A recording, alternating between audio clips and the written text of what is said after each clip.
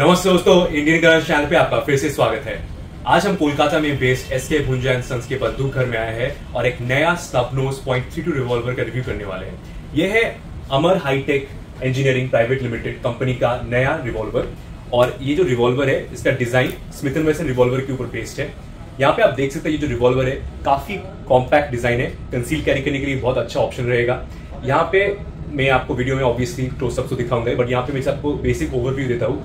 ये जो रिवॉल्वर है, आप यहाँ पे देख सकते हैं, इसका कैपेसिटी है छह मतलब ये छह cartridges of point three two Smith and long hold कर सकता है। यहाँ पे एक एक्सटर्नल मैनुअल सेफ्टी दिया गया है। मैं वो भी क्लोजअप दिखाऊँगा कैसे ऑपरेट किया जाता है बट यहाँ पे ये छोटा चीज़ आपको दिखाई दे रहा है, ये एक्चुअली एक मैनुअल सेफ्टी है। अगर आप इसको सामने की तरफ़ पुश करेंगे, इस तरह, एक क्लिक सा आवाज़ आएगा। अब अगर मैं हैमर पुल करूँगा तो हैमर भी पुल नहीं होगा और ट्रिगर भी पुल नहीं होगा। तो ऐसे काम करता है मैनुअल सेफ्टी ये एक साइड ओपनिंग रिवॉल्वर है, जिसका मतलब है, अगर आप सिलेंडर रिलीज़ स्लैच को इस तरह फॉरवर्ड पुश करेंगे सामने की तरफ़, और फिर आपका बाएँ हाथ से पुश आउट करेंगे सिलेंडर बाहर आ जाता है। ये देखिए यहाँ पे मैंने पुश किया और फिर हाथ से बाहर निकाला। और ये ऐसा दिखता है रिवॉल्वर एक और अच्छा चीज़ है, इस रिवॉल्वर में बहुत ही हल्का डबल एक्शन ट्रिगर पुल है। ये देखिए।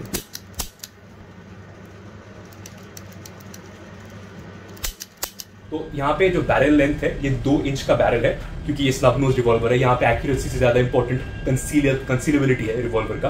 यहाँ पे एक फिक्स्ड फ्रंट सेट दिया गया है और यहाँ पे ग्रूव भी दिया गया है, जहाँ पे आप साइड्स लाइन अप करके चला सकते हैं। वो कैसे दिखता है, मैं आपको फिर भी बाद में क्लोजअप दिखाऊँगा। यहाँ पे हैमर के ऊपर जो चेकरिंग है वुडन ग्रिप्स का जो क्वालिटी है ओवरऑल रिवॉल्वर का जो फिट एंड फिनिश है, बहुत ही अच्छा है और काफ़ी प्रॉमिसिंग लगता है। ये जो रिवॉल्वर है डेफिनेटली इंडियन ऑडियंस फैक्ट्री के रिवॉल्वर को अच्छी तरह टक्कर देगा। और जो लोग बहुत दिनों से एक स्मिथ वर्सन की तरह डिज़ाइन का रिवॉल्वर चाहते हैं अफोर्डेबल प्राइस में, ये उन लोगों के लिए भी एक बहुत ही अच्छा ऑप्शन रहेगा।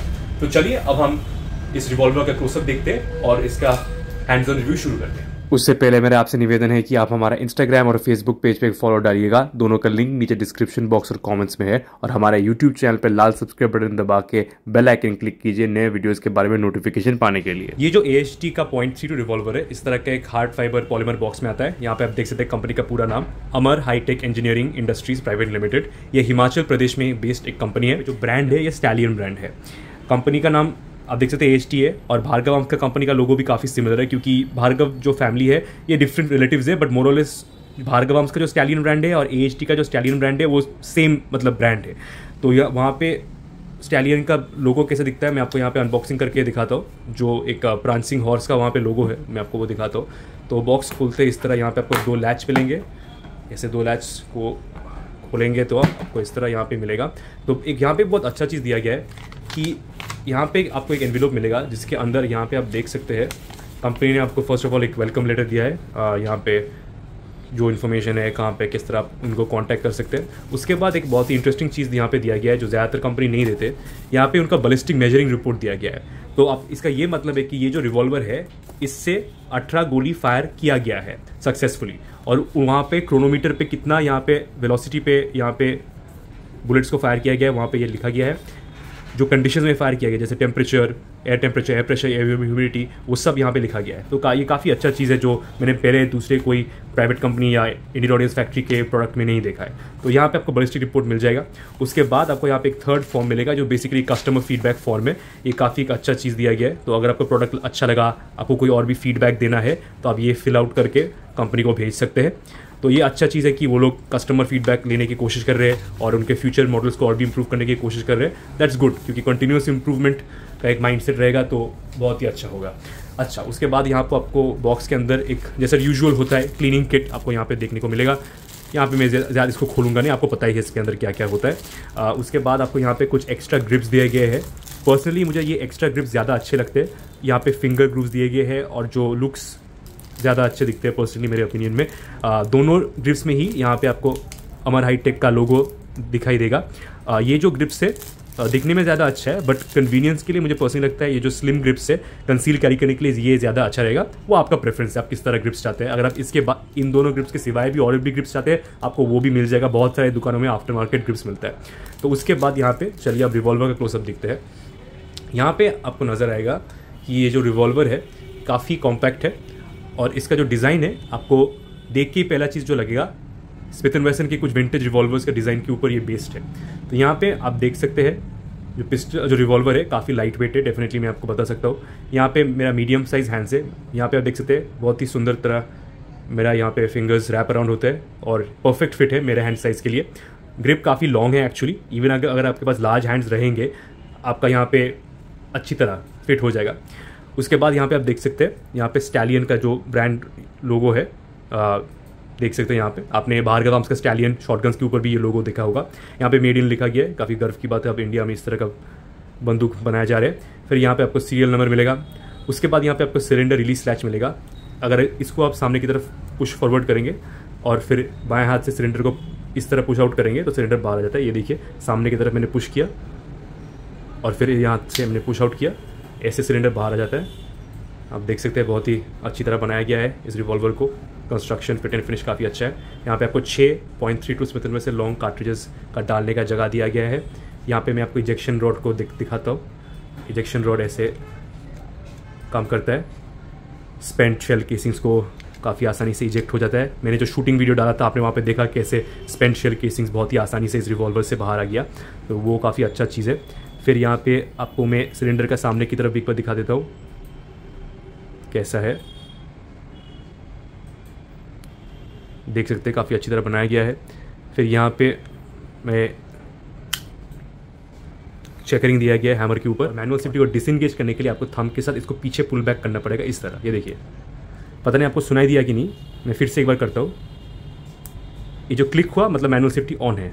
और जब क्लिक होकर पीछे आ जाएगा मतलब मैनुअल सेफ्टी ऑफ़ है। ये पोजीशन में जब ये जो छोटा पीस बाहर आ गया है, इसका मतलब मैनुअल सेफ्टी ऑफ़ हो चुका है। अब अगर आप हैमर कॉक करेंगे हैमर कॉक हो जाता है और ट्रिगर पुल करेंगे तो ट्रिगर चल जाता है। यहाँ पे मैं ड्राई फायर नहीं करना चाहता हूँ तो इसलिए मैं हैमर के ऊपर थम रख के ट्रिगर को पुल कर रहा हूँ धीरे से छोड़ने के लिए। बट आपको मैं बता सकता हूँ, जो ट्रिगर ब्रेक है, बहुत ही क्रिस्प है और बहुत ही क्लीनली यहाँ पर गिरता है हैमर तो यहाँ पर फिर से जैसे मैंने कहा forward push manual safety on click हुआ। लॉक हो गया। एक बहुत ही अच्छा फीचर है, क्योंकि अभी भी इंडिया में fire arms handling gun discipline उतना अच्छा नहीं है तो मैनुअल सेफ्टी रहना मुझे लगता है पर्सनली बहुत ही ज़रूरी है सब तरह के रिवॉल्वर्स और पिस्टल्स में। यहाँ पे आप देखेंगे विथ जो है, ऐसा दिखता है विथ रिवॉल्वर का। फिर इस एंगल से मैं आपको साइड पिक्चर दिखाने की कोशिश करता हूँ। यहाँ पे रियर साइड्स नहीं है, पर यहाँ पे एक ग्रूव दिया गया है, जहाँ पे आपको ग्रूव को लाइन अप करना पड़ेगा आपका फ्रंट साइड के साथ, जो वहाँ पे सामने की तरफ़ है, और वो है आपका सामने का फ्रंट साइड और ऐसे अगर आप लाइनअप करेंगे तो आपका साइड पिक्चर आता है। यहाँ पे देख सकते हैं ग्रूव कंटिन्यूस है। यहाँ से यहाँ, और फिर यहाँ पे जो फ्रंट साइड है, आप देख सकते हैं, इसके ऊपर एक रैम्प्ड रैम्प भी किया गया है ग्रूव्स भी सॉरी ये ग्रूव्स भी किया गया है यहाँ पे। बेसिकली ये जो किया जाता है, काफ़ी times to prevent reflection and glare of the sun अगर ये कंप्लीटली शाइनी होता just like the remaining body अगर सनलाइट गिरता तो काफ़ी टाइम्स यहाँ पे थोड़ा ग्लेयर होता है। बाई मेकिंग दीज ग्रूव्स यहाँ पे ग्लेयर होने का चांस कम कम हो जाता है रिड्यूस हो जाता है ज़्यादा उसके बाद अगर हम देखेंगे रिवॉल्वर का दूसरे साइड से तो यहाँ पे आप देख सकते लिखा गया है A H T Amar hitech. फिर नाइट्रो प्रूफ टेस्टेड लिखा गया है। फिर यहाँ पे Amar hitech engineering industries private limited लिखा गया है। और फिर यहाँ पे जो कैलिबर में ये रिवॉल्वर चेम्बर्ड है point three two Smith and Wesson long इसका बैरल लेंथ है दो इंच और इसका कारण यही है क्योंकि सिंस ये एक स्नब नोज़ रिवॉल्वर है, इसका मेन पर्पस है कंसीलेबिलिटी डेली कैरी के लिए के लिए। Accuracy is not the most important thing यहाँ पे बट फिर भी आप इसको definitely close quarter self defence scenarios में 15 मीटर 20 मीटर तक आसानी से चला सकते हैं विथ प्रैक्टिस और ऑफ़िस मुझे पर्सनली लगता है 15 मीटर तक is more than enough for a conceal carry self defence weapon क्योंकि प्राइम स्टेटिस्टिक्स के अनुजाय मोस्ट ऑफ़ द टाइम्स जो सेल्फ डिफेंस सिनेरियो होता है, सात से दस मीटर के रेंज में होता है। तो this is more than enough for a quick defence solution चिंता मत कीजिए रिवॉल्वर अनलोडेड है, इसलिए मैं बैरल को खुद की तरफ़ पॉइंट कर रहा हूँ, यहाँ पे। तो यहाँ पे आप देख सकते हैं, ऐसे दिखता है रिवॉल्वर का सामने वाले हिस्सा। मैं फ्लैश ऑन करके भी बैरल का इनसाइड भी दिखाऊँगा आपको, एक सेकेंड रुक जाइए।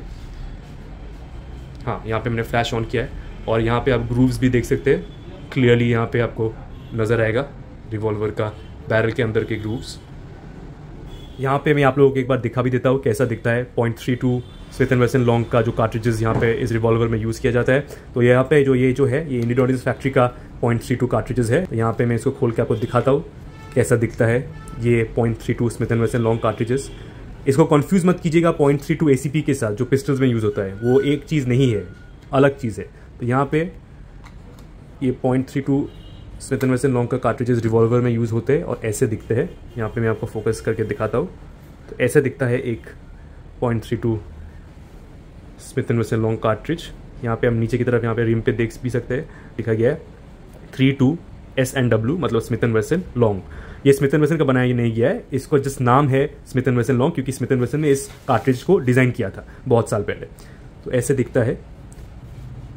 और यहाँ पे जो आ, क्या बोलते हैं बॉक्स के अंदर आपको 20 ऐसे कार्ट्रिजेस देखने को मिलेंगे।